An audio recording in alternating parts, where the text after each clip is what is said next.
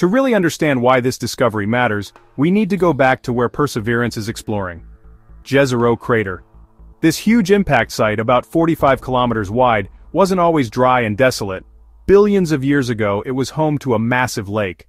Around 3.5 billion years ago, rivers flowed into Jezero, carrying minerals, sediments, and perhaps even the first ingredients needed for life. That's why NASA chose it as Perseverance's landing site. If life ever existed on Mars, Jezero was one of the best places to look. In February 2021, Perseverance touched down after its daring landing sequence.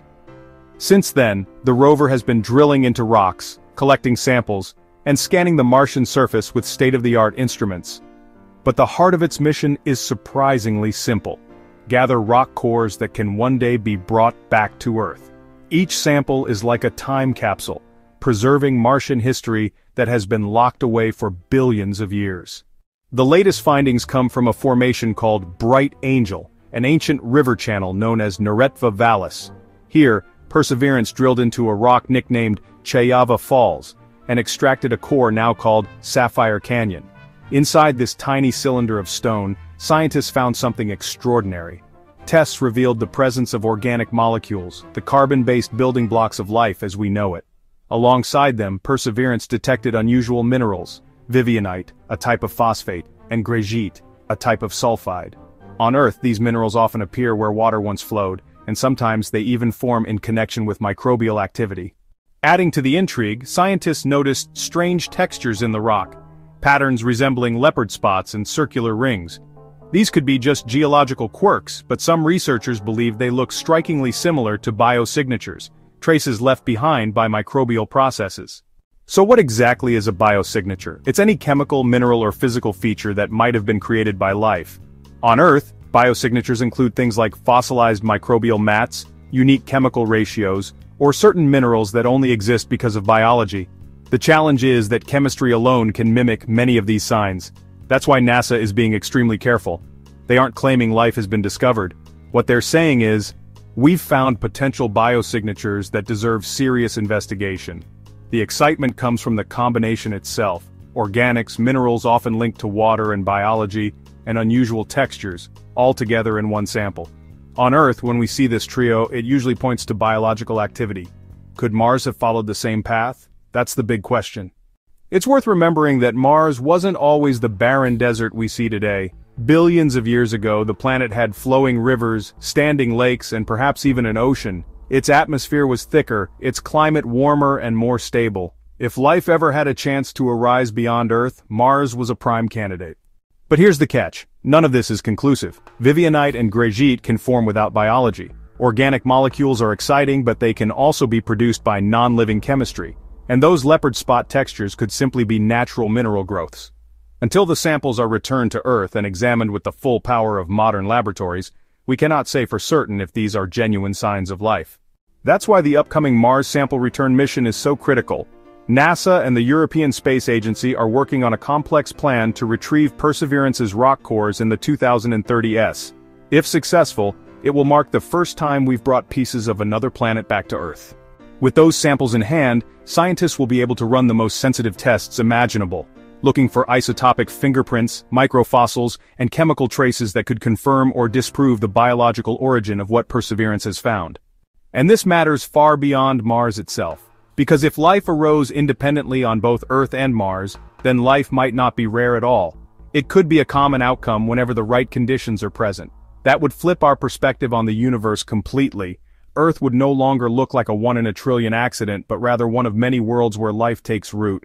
Now before we let our imaginations run wild with talk of aliens or Martian civilizations, it's important to set expectations. The evidence so far at best suggests ancient microbial life, simple bacteria-like organisms. There's no sign of intelligent life, no Martian cities, no lost civilizations. Still, even proof of a single microbe on Mars, long extinct, would be one of the most significant discoveries in the history of science. So where does this leave us? We stand at a crossroads between thrilling possibility and sobering caution.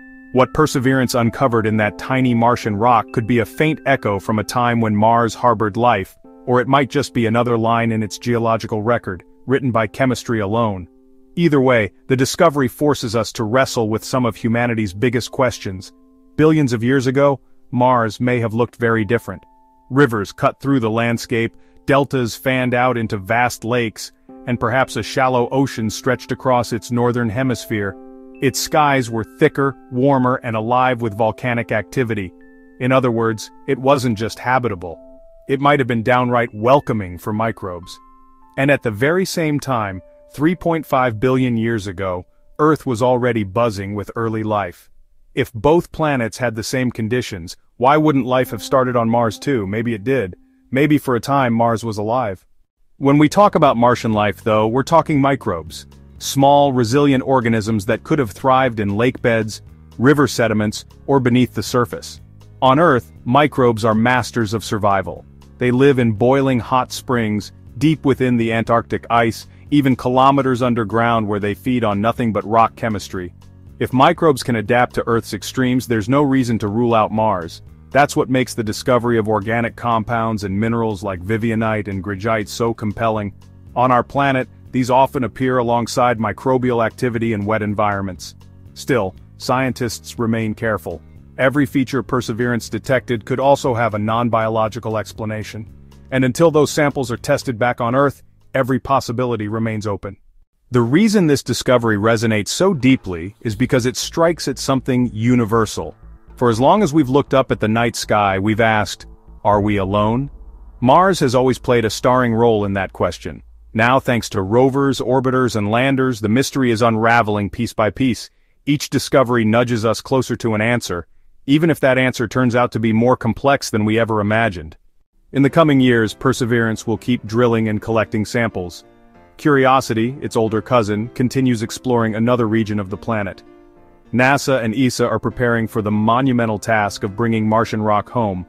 Meanwhile, private ventures like SpaceX are pushing toward the dream of putting human boots on the red planet. If that happens, our search for life will enter a new chapter. With people on Mars armed with microscopes and labs, we'll be able to explore caves, cliffs, and underground ice in ways no robot ever could. So here we are, standing at the edge of one of the greatest scientific mysteries of all time. A tiny rock core drilled by a rover millions of kilometers away has reignited humanity's oldest question, are we alone in the universe? The evidence so far is fascinating, but far from final. What we know for sure is that our search is gaining momentum and with every mission, Mars becomes less silent, less distant and more a part of our shared human story. What do you think? Are these findings the first real hints of life on Mars or just a clever trick of geology? Would proof of a single microbe change how you see our place in the cosmos? Let us know in the comments and if you want to keep up with the latest discoveries from space, make sure to like, subscribe, and stay tuned. The story of life in the universe is just beginning, and the next chapter might be closer than we think.